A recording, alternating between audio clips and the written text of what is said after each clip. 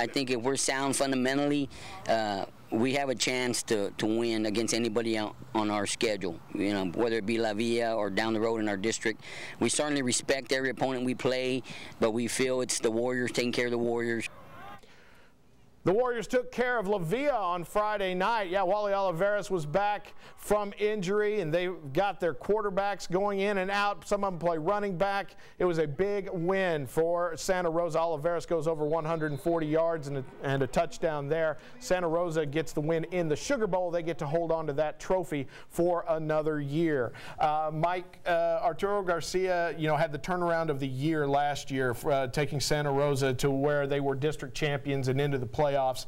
Uh, while they've had a couple of early losses, it looks like they are in the mix to, to win that new district that they're in this year. Well, yeah, it looks like the Warriors are back to the old days of winning some football games. And when you beat a team like La Villa, that's always a big rivalry game every year yeah, you know, we talk about momentum, you know, these other games. You carry that into district, and you know, for, you know, they, what they got to do is build from last year and see if they can compete for a district championship. And it looks like they're headed in the right direction with under Coach Garcia.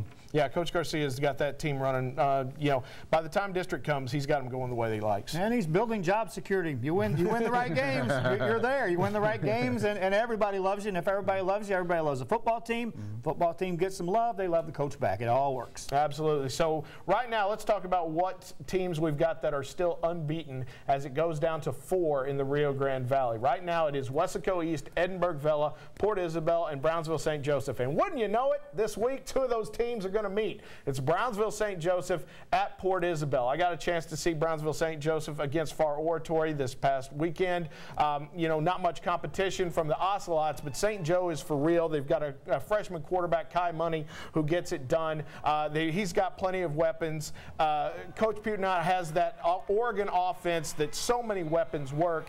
But Joe, will that make any difference when they head to Port Isabel and take on the Seawall defense? Oh, it'll make a difference. It'll make a difference because they, they've got things rolling. And, and the problem with everyone is they, they looked at St. Joseph in that scrimmage against Rio Hondo, and that's where they measured them early on. Well, folks, they had 18 kids that weren't dressed out in that. So quit looking at that tape saying that's the ball club you're going to see when they go to Port Isabel.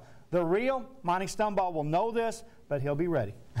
Let's go ahead and make our picks on it then. Mike, who have you got winning? Uh, Brownsville, St. Joseph, Port Isabel, both of them coming in 4 0. Yeah, I mean, even though money's been cashing in. Mm -hmm. um, like know, it, Port, like it. yeah. Port, Port, Isabel is Port Isabel, and I mean, just like at Cachosa, supposedly they were rebuilding, but somehow, some way, they've been able to win football games, and I think that's going to carry into the rest of the year. I think they're very confident. Um, I'm going with the Tarpons. If you think I'm going to walk in my backyard and probably be at that game and not pick them, no. No, I, I believe they're going to win the football game. I think I think they're the better team. Right yeah, the, uh, the Fighting Fish are definitely uh, fighting on. Brownsville St. Joseph will win some games in their district, but against Port Isabel, Valley Power, I am going with the Tarpons in that one. We are coming right back on Sunday Sports Extra, saying goodbye to one of the Valley legends and a fantastic coach. It's when we come back.